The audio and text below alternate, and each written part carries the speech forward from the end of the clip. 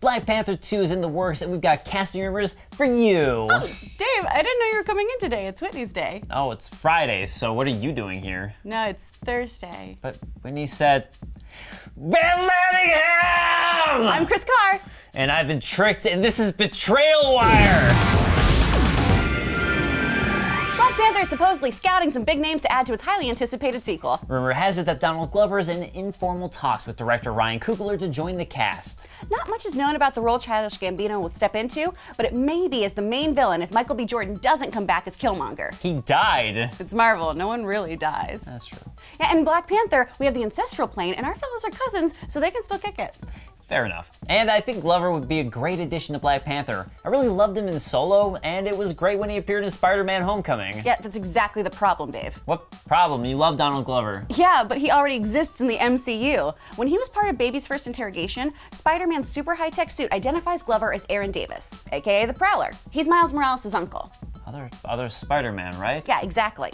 Oh, so he's going to be the Prowler and Black Panther? I don't know, I don't really see the Prowler as a big bad, but maybe they're going that way.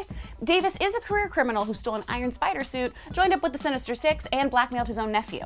But Panther has powers, so why would he even be a worthy opponent? Oh, he totally would. He's an expert marksman, Like Killmonger? a master thief, Like that museum robbery scene with Killmonger? and an expert martial artist, so he can kick ass. Okay, so all I'm hearing is Killmonger the second. I mean, with a different agenda and way more selfish, but sure. But what would be cool about this is we could get a Black Panther Spider-Man team up.